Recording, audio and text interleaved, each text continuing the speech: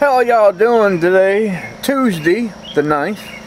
I got my flashlight out here because it's, it's getting darker and uh, well I want to make sure I got light because you can see it's a 2000 lumen flashlight so let me yeah, it's down full supposed to get but anyway this morning a friend of mine came by and she picked up my candles and my extracts and my hot sauce that I, I donated to charity. Well actually it, it's a charitable cause. So she's having an auction and she's she she's picked up all kinds of stuff and she went out and bought t-shirts stuff like that.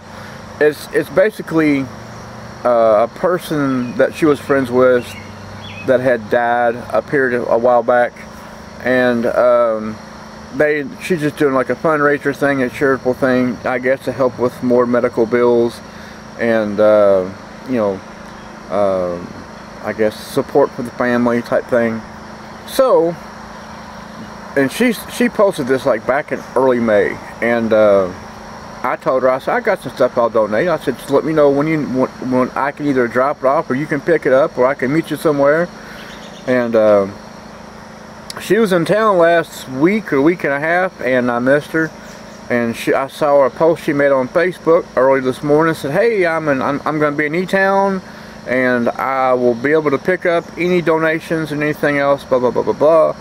So I was like great. I of course I caught her just in the nick of time. She said I'm passing E-Town Walmart. She's like uh, and I told her I said well I'm still at the house I said, uh, where are you going to be at proximity so I can meet you somewhere to, you know, drop this off or, you know, you know, something of that nature. And she said, well, I'll tell you what. She goes, just give me your address. I'll come by and pick it up.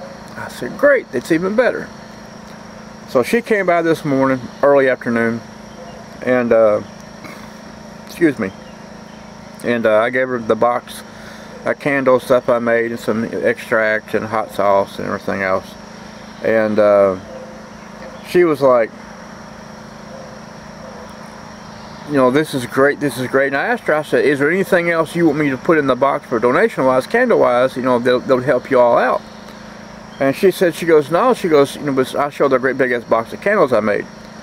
And uh, then I told her, I, of course, I showed her some of the other candles that I've had. And uh, I gave, I gave her like one, two, three, four, five, six, seven, seven candles, a bottle of hot sauce, three bottles of extract, and I said, I said, now this is for you.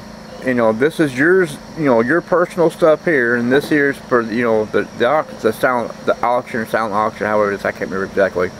But anyway, because she originally said that she was going to bid on the stuff that I was going to donate, but she really liked it and uh, that's why I gave her some of her own personal things. Therefore, she, you know, that way if she did bid on it, you know, so be it. And if she didn't, you know, she still had some stuff of her own personal items to where, you know, she wouldn't have to, you know, bid on what I donated to get bid on.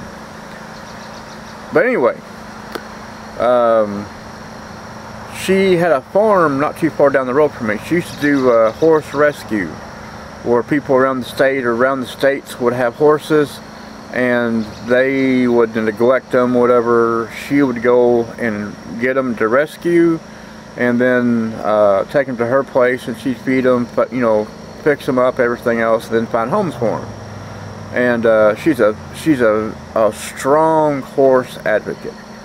Uh, I've known her for some years. Uh, when I, when her son was like a year about a year old I used to babysit him. Now he's like 21 22 so, you know, I mean, this will tell you how long I've known her.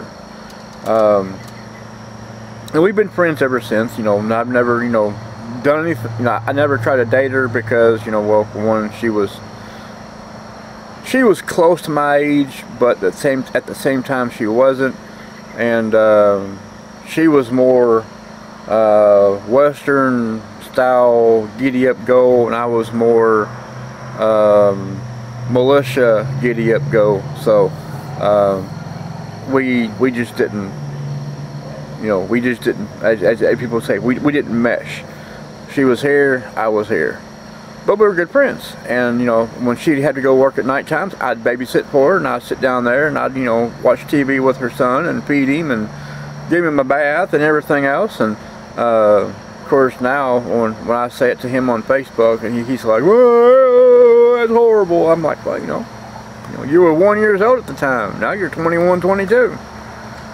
But, uh,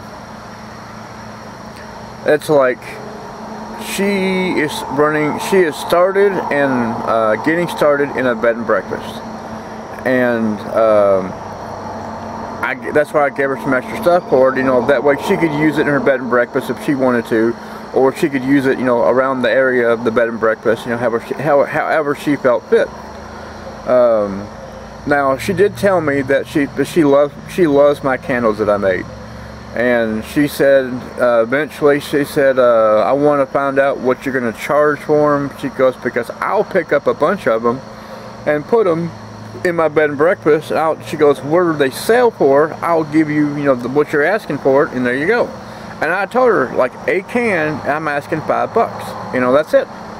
And uh, she said that's fine you know she goes she goes if I get a bunch of them I'll take in my bed and breakfast and I'll sell them for five bucks and you know give you the money for it. And um, and I told her, I said, a lot of the candles that I am making, I'm going to eventually get, I'm going to going to take to the Rineyville Farmers Market and put up for sale there. I said, but I will make more. I said, it's no big deal. Um, I have, like I said, I have the I have the Budweiser, I have Coors, I've got Dr Pepper, Cherry Coke, Orange uh, Orange Crush, uh, Orange Fanta, you know, I, I got all kinds because, you know, because most of those candles like that are citronella. Because I know, you know, it's comical. It's, you know, I, I would I, I would want to use the word comical, but it's something, you know, like an attention getter. You know, you got little cans sitting there with a candle lit, you know, citronella form, and um, it just, you know, it's like it's like a conversation piece. But. Uh, she said also there's a woman across the roadway from her where the bed and breakfast is. She runs like a bakery, pastry kind of place. And she was interested in the vanilla that I made. And uh, so chances are what I'm going to do is I'm going to get me a, a smaller, like a half gallon jug. And I'm going to get some more vanilla bean. And I'm going to make a half gallon jug of it, of pure straight extract. And... Uh, basically I'll figure out the price the beans going to cost me, the price that the alcohol is going to cost me to get, and the price of the jug. Combine it all together, depending on how many, how many beans I put into it, and just price one jug for what it is. And, uh, but yeah, I mean, that's how I'm going to do it. Because she runs a business that's probably going to acquire more than just a single couple little bottles and I figure if I can make you know a large container form of it and it'll do what she needs to do then you know there you go so be it now part of this video is is because uh, well, the reason why there's a big glare right here is because I have my flashlight out here because it's dark outside and my flashlight is 2,000 lums so that's why you're still able to see me even though it's like 9 9:30 at night.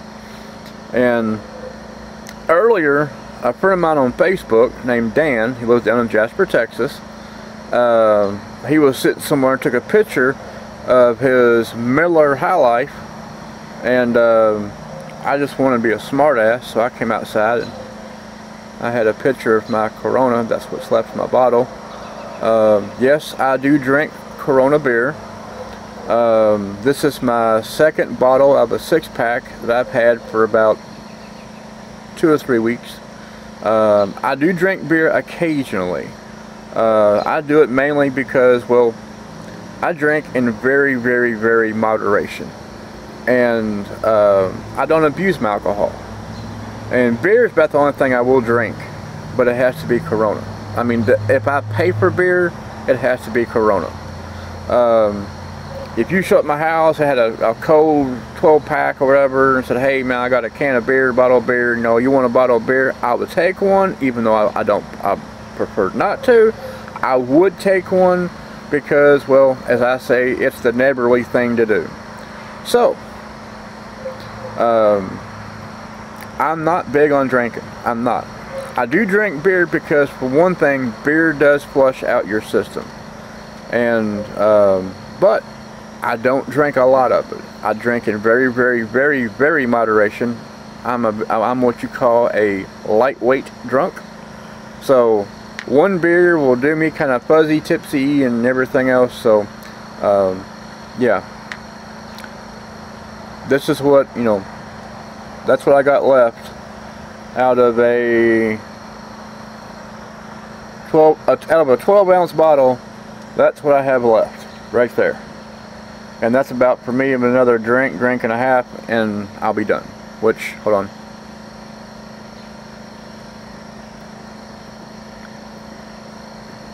There cause there's one drink. So there's about an ounce ounce and a half of beer left see that little water drop on the bottom it's nice and cold oh it's nice and cold Yep.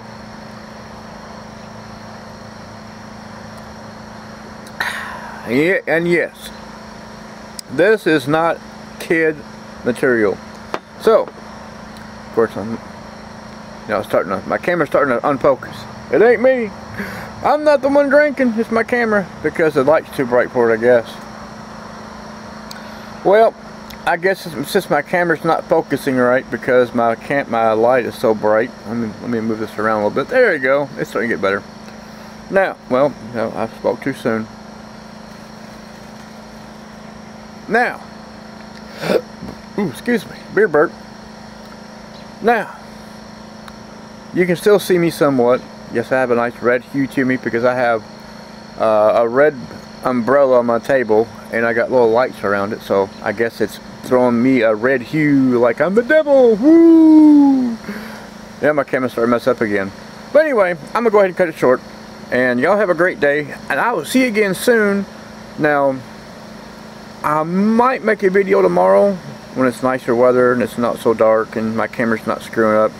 Um, I do have to get up early Thursday morning and take my wife to the hospital because she's getting a scope done. So, I might make a video Thursday, I'm not for sure, but you can bet your sweet ass on Wednesday I'll make a video. So y'all have a great night. I'll catch you again soon, and you know, keep it easy, keep it sleazy, keep your nose clean, your powder dry, and don't name it after me, whatever you do.